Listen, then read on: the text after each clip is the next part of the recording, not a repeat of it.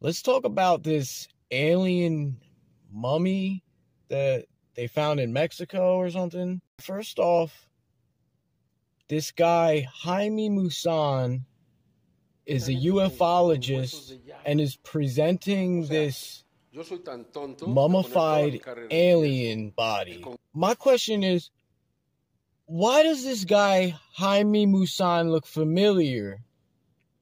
And I think I know the answer. It's because he's an alien.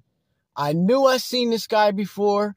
It's from Men in Black. It's that guy in the beginning. I'm telling you, that's the guy. You're pretty ugly, right? Huh? Yeah, you're real ugly. Eres muy feo, ¿no? He looks just like this guy. I'm telling you, look. we got a winner here.